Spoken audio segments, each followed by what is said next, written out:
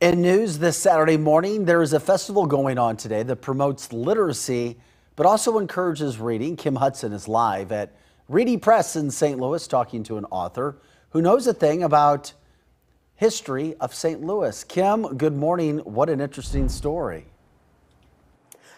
It's almost time for the Missouri Book Festival. It's coming up next weekend in Washington, Missouri, but we are here live in South St. Louis with a preview. I want to bring in a woman that I have learned so much about. So, uh, to producer Joe, this live shot might go a little long. Carolyn Mueller, she is an author, and let's first start with the book that you have out about Forest Park. So many amazing things. Uh, park is bigger than Central Park, but a lot of people don't know it's just packed with free stuff. It is. Forest Park is for sure my favorite place in St. Louis because there's so much to do, so many free things that you can visit. You can go to the zoo, you can go to the History Museum, the Art Museum, but it's also just a beautiful place to walk around and enjoy the wonderful weather we're having. And also, you're a zookeeper. I told you I learned a lot about this lady in just the last few minutes. You're a zookeeper. What is your favorite animal at the zoo?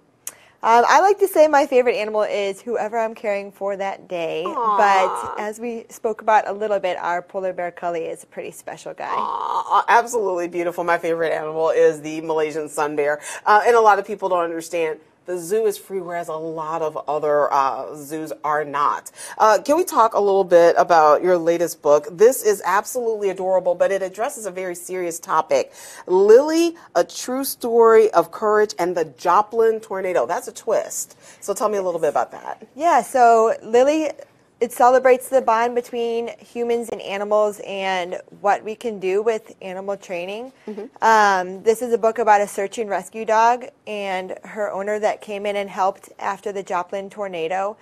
And it's really all about the helpers, the people who come in after a natural disaster, or, disaster or something bad happens and help out a community and kind of get them back on their feet. And I think it's so critical for a really great book like this, especially in a children's book format. Mm-hmm. Us adults were terrified when something happens. We were all just heartbroken around the time of the Joplin tornado.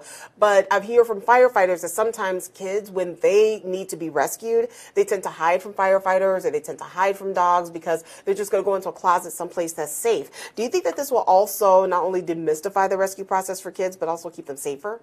I hope so. Uh, when I read the book to school kids, I have them point out the helpers in the book. So not only Lily and Tara, but the firefighters and um, the EMTs and the, the people who come in and are there to help. Um, and there's no better ambassador for them than a cute dog. I agree. I agree. Everybody, we have the Missouri Book Festival. It will be all over Washington, Missouri on August 26th and 27th. We will have links at fox2now.com. For now, live in South St. Louis, Kim Hudson, Fox 2 News.